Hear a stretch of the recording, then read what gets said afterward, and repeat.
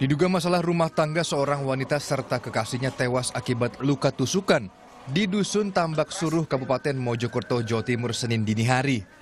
Korban adalah Komariah dan Wiono yang tinggal satu rumah. Keduanya diketahui telah menikah siri. Namun sang wanita Komariah ternyata masih dalam proses cerai dengan suami sahnya.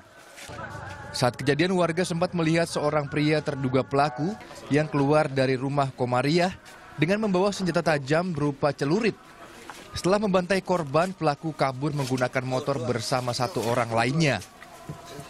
Ceritanya ya kan belum resmi cerai. Nah terus yang ist- istrinya itu kawin lagi, kawin siri. Nah, suaminya yang resmi nggak terima. Polisi langsung lakukan olah TKP. Identitas pelaku telah dikantongi yang diduga adalah suami sah korban. Motif diduga pelaku cemburu karena sang istri telah menikah siri padahal proses cerai keduanya belum selesai.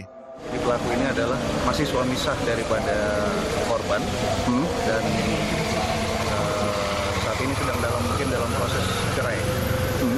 Korban dari yang laki-laki maupun yang perempuan ini ini adalah mungkin pacar pacar daripada eh, korban yang perempuan.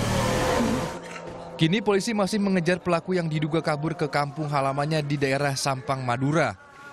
Muhammad Mufid melaporkan untuk NET.